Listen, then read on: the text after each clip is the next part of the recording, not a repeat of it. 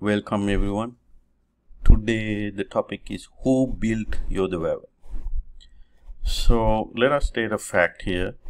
There is no direct reference to Yodhavava or the canal has been found in any ancient book. Mahavansa, Chulavansa, Pujavaliya, all are silent on this work. So you're not going to see anything about Yodhavava directly uh, but there are a lot of reservoirs that are not being identified. But we don't have any reference in Mahavansa or Chulavansa, Pujavaliya, Rajavaliya, any of those books directly, like Manihira is Minneri, we could clearly see that. Uh, is Kalavava, uh, we could clearly see that. And uh, it was located as explained in Mahavansa. But there is no such direct reference in any of these historical books. So, um, so the very famous irrigation engineer S.R. Arumugam, he uh, in his book Development Development of Water Resources in Ceylon, I have that book here. You know, in Giant's Tank, he wrote. Um, Nicholas considers Nicholas is the uh, famous historian C.W. Nicholas, Colin Wade Nicholas so he's saying, this is Arumugam writing, it's Arumugam. Nicholas considers the possibility of this work being identical with Mahanama Matavapi, a tank in the north with 17 mile canal, augmentation constructed during the reign of King Dhatusena, and which was later listed as one of the tanks restored by Parakramabahu. So basically, Arumugam don't have anything to say he just say send it send you to Nicholas. No, he has no uh, anything to say. He just say you know Nicholas said this. So we go to Nicholas. This is C.W. Nicholas book, Historical Trop Topography of Ancient and Medieval Ceylon. Uh, C.W. Nicholas is a very famous uh, ancient historian. 18 he lived he lived till like 1970s um, 1980s or 70s. So, um, in his book in 1969, he referred, he, he says this, this is his theory. Okay. Mahapatanaju mentioned in the Sigiri graffiti means the island of Mana. So Mahapatanaju, you know, is Mana, he's saying and Mannar or Mannaram, present Mana, was a village near Mahatitta, and Tamil invaders held sway there in the reign of Parakramabahu too. So, so far he's just explaining what Mana, you know, area is. And then he says Manamatta, also called Manamatu and Manavatu, was the name of a tank and a district he found this evidence in Pujavaliya. So in Pujavaliya there is the Manamatta. The construction of the tank is ascribed to Dhatusena.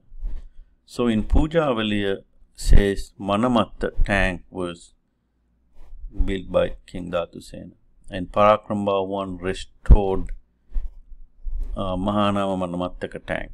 So looks like you know Parakramabahu restored that tank. In the 13th century, Tamil invaders occupied this district. Manamatta tank was probably present. Giant's tank, Yoda Vava. So, okay, all right. So, uh, Nicholas is saying that, you know, Pujavaliya says Manamatta tank was built by Kindatu Sen. Let's go step by step. So, Pujavaliya says Manamatta tank was built by King Dhatusena. That's what the Pujavaliya says. Now, how do we know this Manamatta tank is the Yodhavava? He saying Manamatta means mana. Manamatta means mana. He how does he say Mahapatumchi is mana. And there is no direct way to say Manamatta, Manamatta is mana, but um, Mannara. Today Manaba, English word is Mana, but used to be Mannara. So Mannara rhyme with Manamatta.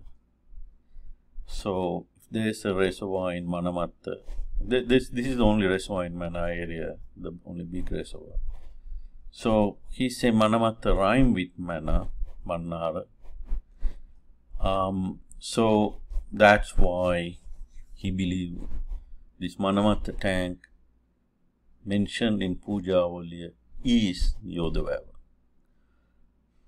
Well, you know, it's up to you to believe or not to believe, and this is what um, Nicholas says. Manamatta tank is Yodhavava because Manamatta rhyme with Mana.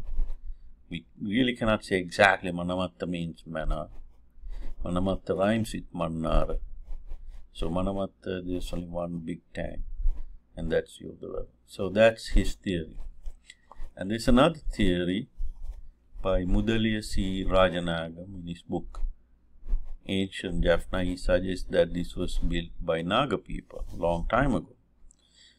Now let's look at uh, this theory and some let's give some facts about this. So the bund is not too tall compared to like 70 feet feet tall bunds of Minneri. This is only 10 15 feet tall. So the bund is not too tall. So you don't really have need much of a technology.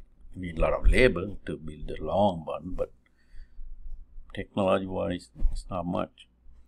The bund could have done over a very long period of time. You know, it's a, it's a not too tall, it's a long bund. It could have, you know, they could have taken their time. The project overall is not a complicated project. Yodavava is not a complicated project. You don't need a Bisoko tool.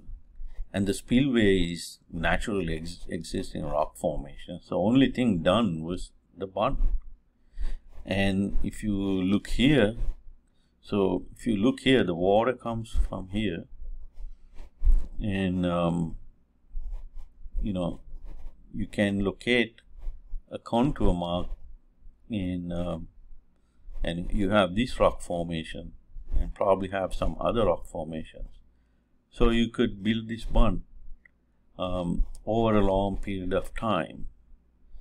Um, but it's absurd to believe that such a big tank existed when King Vijay came. Um, we know that when Vijay came, that there was rice, because Mahavansa mentions that there was rice in Kuveni's time. And there were ponds, you know, Pokurani was uh, mentioned in Mahavansa when King Vijay came. So there were ponds and there was rice. But such a big reservoir and that could feed millions of people is doubtful. I don't I don't buy that.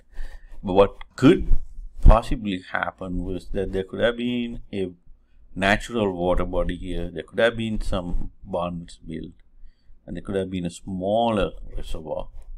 And then later on, this bund was probably bund could have been somewhere here, a small one, and then could have been extended over a long period of time and this reservoir came. But still, the question of the canal and the Anicut remains. You know, those things are a little complicated.